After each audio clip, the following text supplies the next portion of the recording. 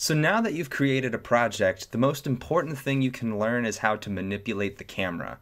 About 80 to 85% of the issues that I've run into when teaching Tinkercad have been solved just by adjusting the camera angle. So the way we manipulate the camera is through this view cube in the top left corner.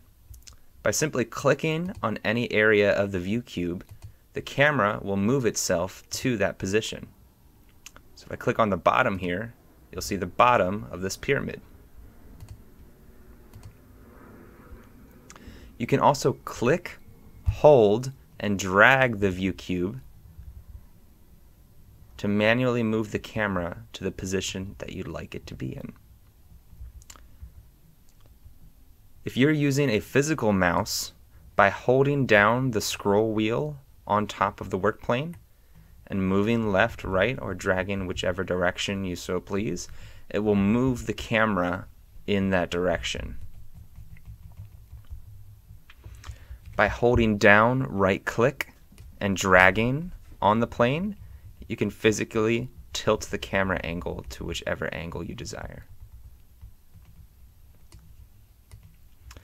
If your camera gets all out of the way and you have no idea how to return, say it's something crazy like this, you can always click on the home button on the left side of the screen.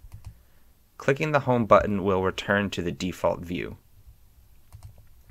If you'd like to focus the camera on a specific object, let's say my pyramid is over here, and I'd like to focus the camera on the pyramid by selecting the object with left click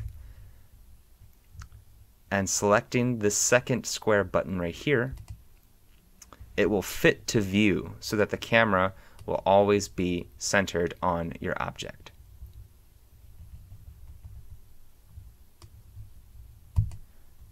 And that is how you manipulate the camera.